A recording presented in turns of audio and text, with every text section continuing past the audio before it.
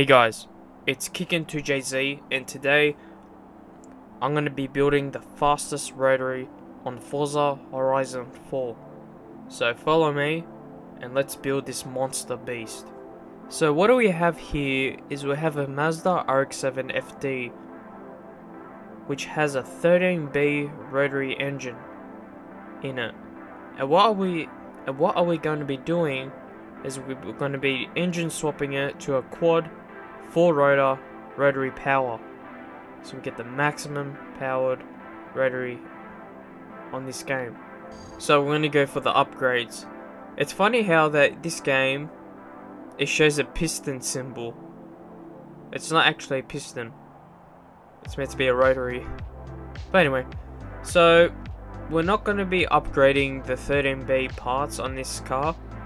We're going to be going to the conversion side, engine swapping it, and we have some three options here. Or you can use the stock motor. You have a 6.2 V8, so pretty sure that's an LS, which I don't want to go LS. um, a 1.6 inline 4 turbo rally. And the last, we have the 2.6 4 rotor racing. This is amazing sound of rotary. So we're going to be selecting a 2.64 rotor racing, which is 309 kilowatts. So now we've selected that. So for the drivetrain, we can select or leave it as rear wheel drive or all wheel drive. But if you select it as all wheel drive, you're going to get a really good better acceleration and launch. Rear wheel drive is just gonna more power at the wheel at the rear wheels, not on the front. But we'll get all-wheel drive for maximum. So basically now we can go to the engine upgrades. But there's only one engine upgrade is basically a restrictor plate.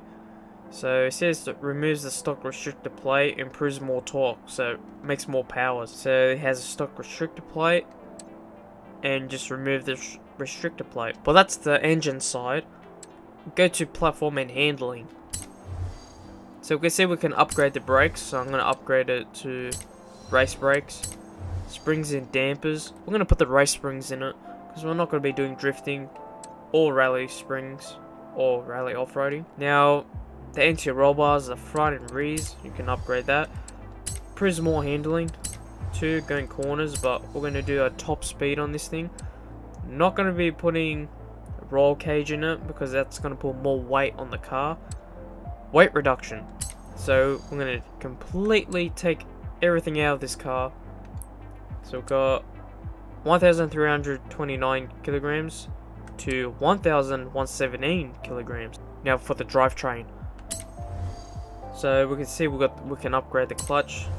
Might as well do that. Transmission, get better transmission.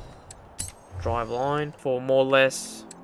So if you upgrade more parts, you get more or less the weight of the car. And differential, you can put race diff. So you can tune as well. Now tires and rims. So tires and rims, we can make it, you can change the width of the tires. So more handling and more grip as well. So if you put big tires in the back, get more acceleration as well.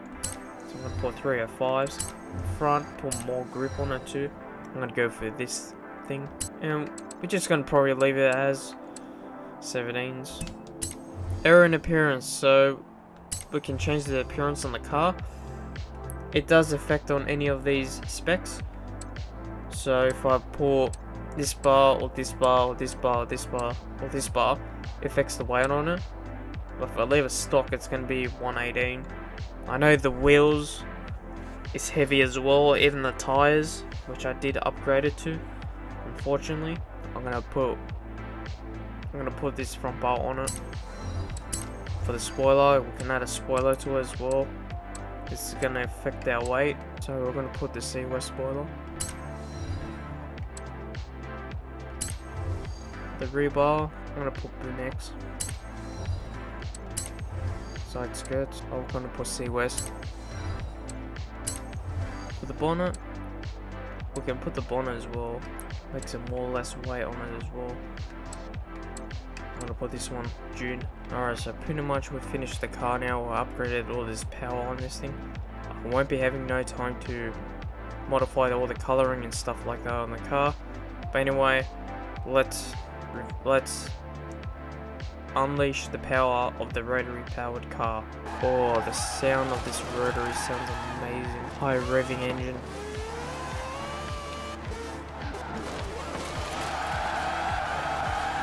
Oh yeah. Okay, so we're gonna try attempt to get the top speed on the four rotor rotary and see what we get. It's gonna be challenging, but here we go. Three, two, one, now.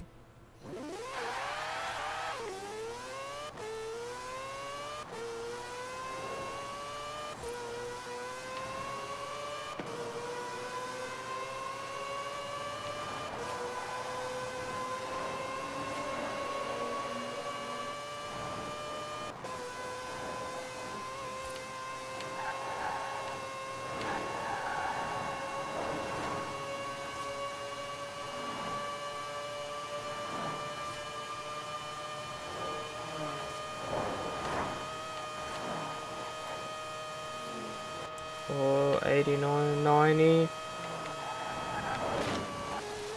anyway we got to 390 so it was pretty pretty close onto 400 kilometers an hour. But rotaries are really crazy powered engines.